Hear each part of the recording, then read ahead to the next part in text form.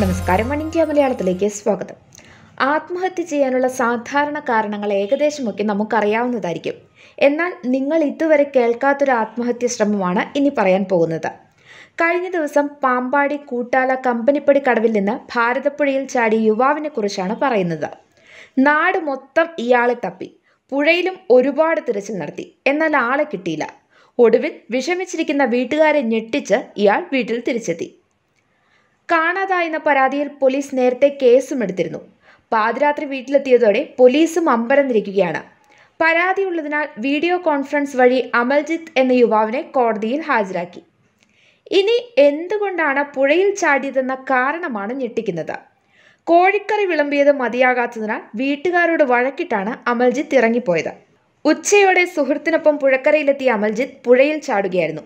ഏറെ നേരമായിട്ടും അമൽജിത്ത് തിരിച്ചു കയറാതായതോടെ സുഹൃത്ത് ആകെ പരിഭ്രമിച്ചു പോയി.